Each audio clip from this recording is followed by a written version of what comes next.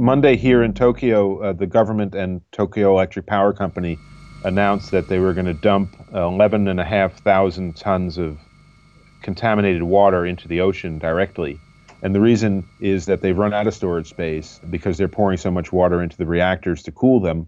And each time they do that, they create more contaminated water with various radioactive materials in it. They claim they're going to let go uh, some of the least contaminated water first uh, to free up more space.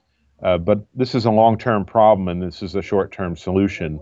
Uh, there have been a lot of questions about the quality of the data that's come out. There's no shortage of it. Uh, the regulators, uh, the nuclear power company itself, the government are all putting out various statistics in huge quantities. Uh, they've had some mistakes that they've corrected. They over reported numbers and they then had to retract them.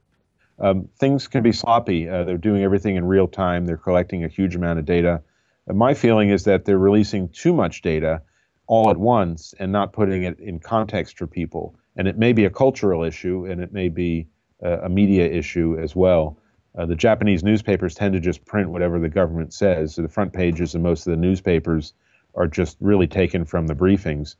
But people outside of Japan, and particularly in the Western media, want some context. They want to know if things are getting better or worse, whether there was a setback, whether it's going to take six months or a year or five years all those things to set expectations are really important.